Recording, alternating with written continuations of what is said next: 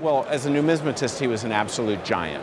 He was uh, incredibly talented, uh, very, very innovative, and uh, one of the best communicators ever in the coin business.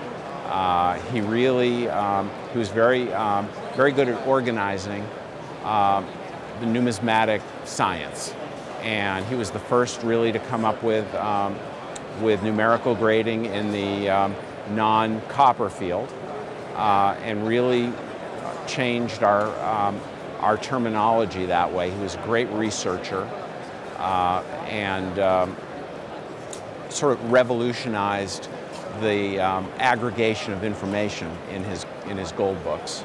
Uh, really did a, a, tremendous amount. I think, I think um, decades or centuries from now, people are going to look back in awe at what he accomplished in his career. And as a human being, he was just incredibly funny, great storyteller, and a blast to be around. Uh, I'm really, I'm going to miss the heck out of him.